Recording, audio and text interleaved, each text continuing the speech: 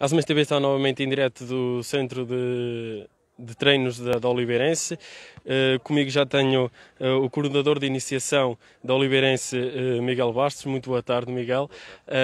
agradeço as suas declarações à Azemais TV. Começo por perguntar, um ano, ou um ano não, mais, sem competição dos mais novos, né, este torneio de petis que aqui se realizou, a expectativa foi superada, qual é o sentimento?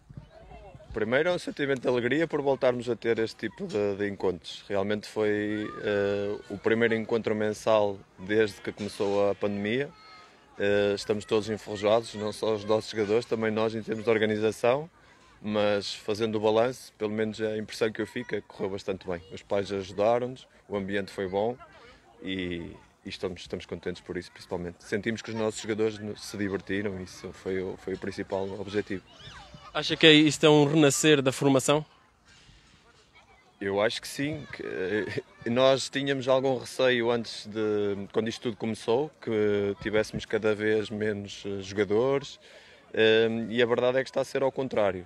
Eu acho que já estou aqui há, há, mais de uma dúzia de anos na Oliveirense e a trabalhar com, este, com crianças destas, destas idades, e este é o ano que mais crianças temos sentimos que eles estão com, com falta de jogo, com falta de brincar ao futebol, sentimos muito isso, mas estamos com mais jogadores, com mais meninos do que quando aconteceu a pandemia.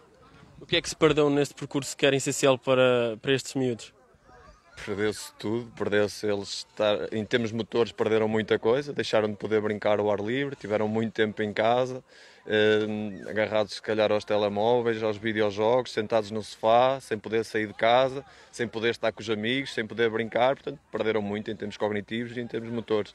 Agora, nós da nossa parte ficamos contentes por eles, apesar de depois dessa fase terem vontade de vir para o campo, vontade de vir para o futebol uh, vir para o desporto e recuperar o tempo, o tempo perdido.